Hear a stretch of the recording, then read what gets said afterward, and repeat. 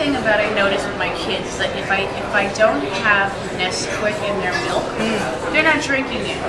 So you know I have that sugar component, you know, and I think a little bit of sugar is okay. But as my daughter is reaching puberty, and with the amount of sugar that I'm seeing like put on the tables at these birthday parties, I'm I'm quite I think it's very irresponsible what's going on.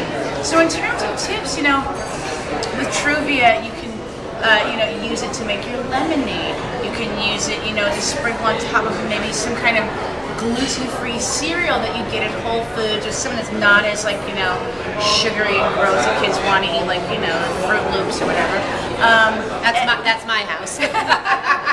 no, but seriously, there, there, there are a lot of tricks, and I think you know, you know, you always tell you, look, it's not a restaurant, okay? This is what you're gonna eat. If you don't like it, then you go to your room and you can starve, okay?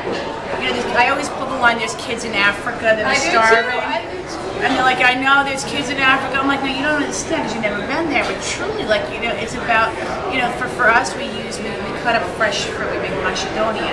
If you give them like, we, we chop up berries fresh mint, put a little Truvia if you want a little bit extra sweet, and then you squeeze uh, a a lemon and an orange, and you let it sit.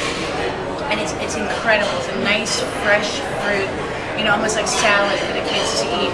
And just try to push more things like that, you know, just cut back the sugar.